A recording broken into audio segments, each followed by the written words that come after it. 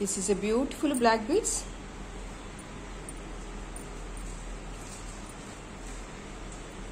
Totally in black with a beautiful uh, Kasu Ammavaru and uh, middle also fine pendant with gold polishing. Price is 650 rupees. The length is 18 inches.